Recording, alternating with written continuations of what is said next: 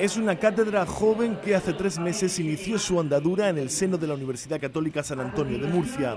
En uno de sus primeros encuentros, la Cátedra Internacional de Mujer, Empresa y Deporte ha reunido hoy a un importante número de profesionales de los ámbitos deportivo y académico en la sala capitular del campus de los Jerónimos. Con un objetivo muy claro.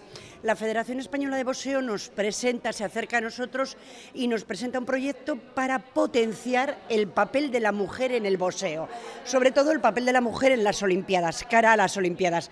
Nos pareció muy interesante, les vamos a apoyar en todo lo que podamos y ese es el objetivo de venir hoy aquí a esta maravillosa sala capitular para hablar de un tema muy importante como es la mujer en el mundo del deporte y en un deporte donde mayoritariamente son hombres. Cuando yo empecé eh, había muy pocas chicas y ha sido muy duro el hacerse un lugar, el hacer un, lugar para nosotras, ¿no? que cuente con nosotras y, hacernos un huequito tanto aquí como internacionalmente ¿no? en nuestro país pero sí es verdad que hemos, luchado mucho y que se está consiguiendo y que poco a poco somos cada vez más. Es la experiencia de Jennifer Miranda, estudiante de la UCAN y una de las boxeadoras más importantes del panorama nacional, siete veces campeona de España en la categoría de superligero.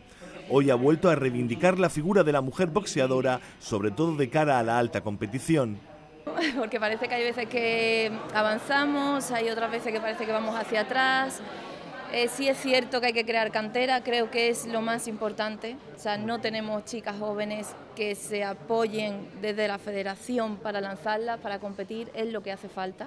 Y en ello se ha incidido en esta cita impulsada por la Cátedra Mujer, Empresa y Deporte, que ha contado también con la asistencia de la directora general de Familia y Políticas Sociales, Miriam Pérez, y representantes de las federaciones de boxeo nacional y murciana.